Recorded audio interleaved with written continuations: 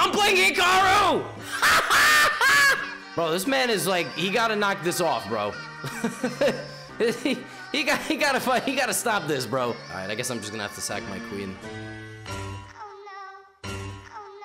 Yeah, he killed me.